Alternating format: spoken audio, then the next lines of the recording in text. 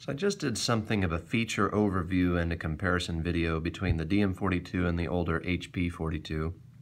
I just wanted to do a quick review of the, the 42 specifically now. So one of the things that I really like is the added row of soft keys at the top, dedicated soft keys. So now when I go into execute something,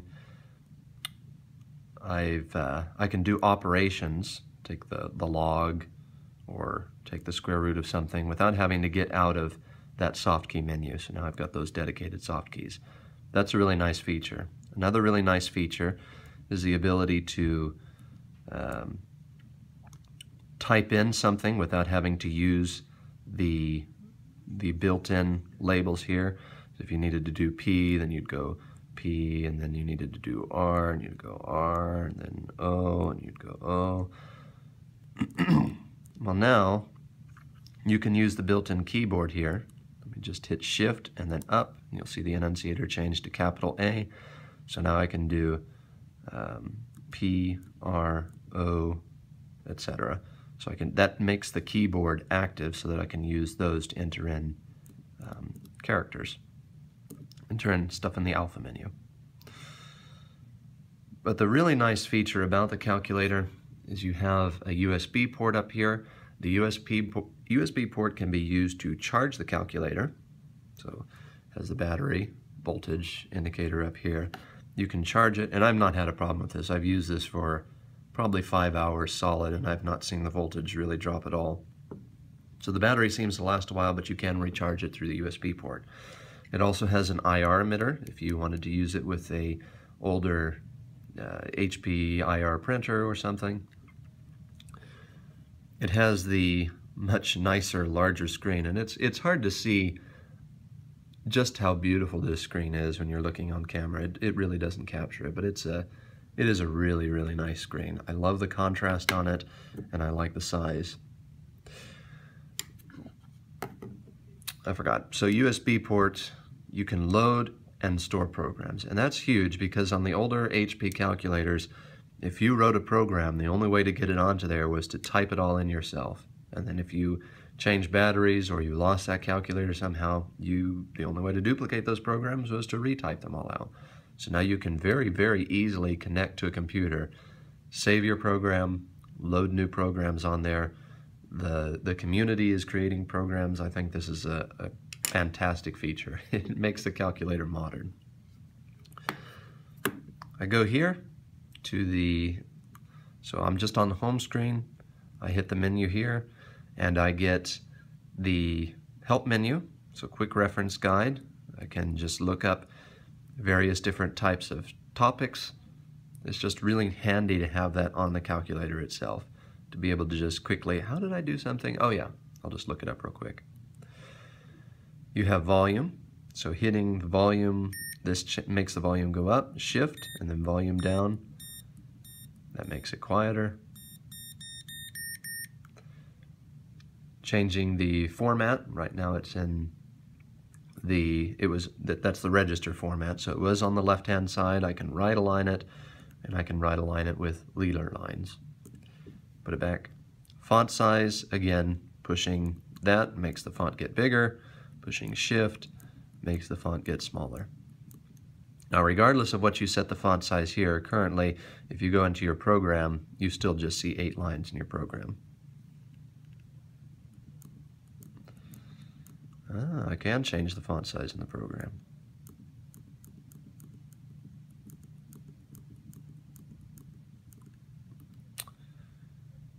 Okay. Get rid of that menu.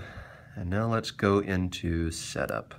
So this is a new, new menu. It wasn't on the original 42S, but it is on the DM42. So you go to your file settings. You can load a program. So I can go down here and say I want to load this program that I put in from, uh, from my computer. Just hit that. It says loading, success, and we've got that loaded.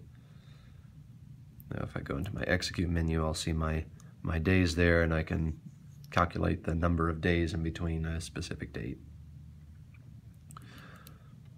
Go into setup again, file, save program. And here's, here's all the programs that I currently have on the calculator. So if I wanted to save a particular combination of them, let's see, I want to save mass, force, and energy. Then I hit enter, and then go ahead and save it as, I don't know, let's say I'm going to save it as um, C O N V and hit enter. And I saved it. So now if I go into load programs,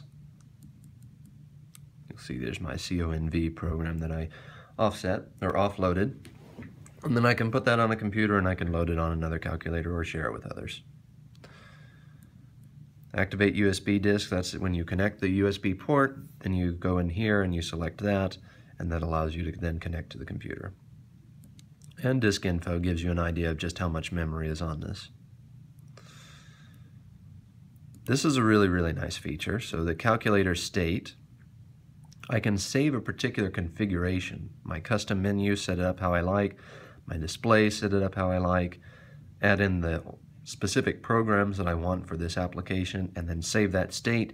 And then anytime I want to go back to that configuration, I can just load that state. So I'm going to load my double E state, ask me to confirm, now that's loaded. And I've got it displayed in the upper left here. And these are just programs specific to a, a, a certain application that I wanted. You can also load a clean state, and that just resets it back to how it originally was.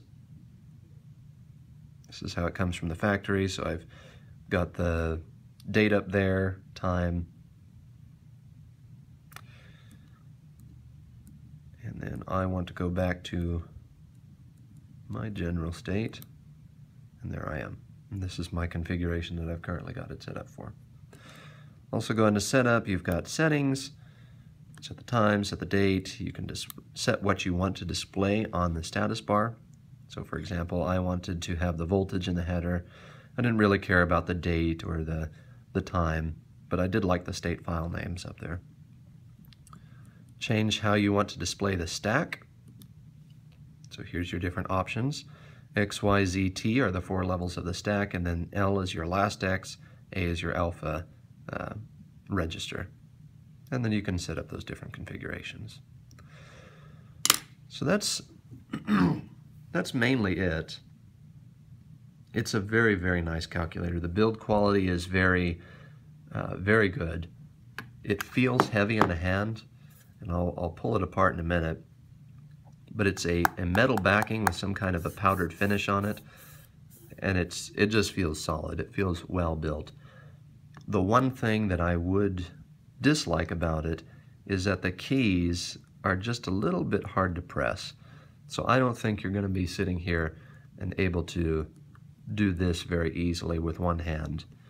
Thumbs, it works pretty well, but I'm still getting used to um, just the feel on the keys. And maybe they will loosen up over time, but right now they just feel too stiff to me.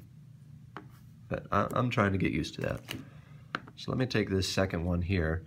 These calculators are made to be pulled apart. So a couple of Phillips head screws. If you've ever pulled apart an old HP calculator, you know all of those, uh, I forget what they call them, the, the rivets that are heat or thermal thermally melted or something. So I pulled off those two screws. Let me just ease that apart. And then at the bottom here, you'll see that there's these little um, studs that stick out. So just slide that down and out, and the calculator is open. So again, you can see this is a metal backing. Look inside, there's our ARM chip, and the speaker, USB port, IR emitter, ribbon cable to go to the other side. And if I wanted to pull this whole circuit board out, I just have to take these two uh, Phillips head screws out and then pull the circuit board off. It's really straightforward, really nice design. It looks clean, looks professional. Wouldn't expect less of Swiss Micros, right?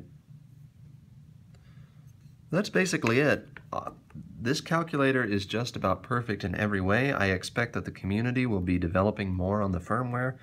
You'll be able to go into the setup menu, um, file, sorry, system, and then I believe you would be able to load in new um, new firmware through this menu here. So as the community develops it, as Swiss Micro develops it, I think we're going to see some nice new features. A lot of requests have been already made, and I think this calculator will improve. Again, the only thing that I would critique on it right now is the, the key presses. And then I would like, personally, to be able to control whether the stack sits at the bottom of the screen or top. Specifically, when I go into a menu here, I would rather see my soft key line, just a bare line there, a, a empty line all the time, rather than shift it up and down. See my stack, just like the original 42, shifts up. So I'd rather see the stack sit at the top, and then instead of having to go between this bottom line and that top line, I'd rather have this line sit down there above that. So if the stack could be top, top aligned, and then the alpha or input menu move down below that, and then the space for the soft keys at the very bottom, that would make me happy. Well, that's kind of nitpicky. Honestly, I'm really, really, really enjoying the calculator. This is by far my favorite calculator and I'm going to be using it all the time.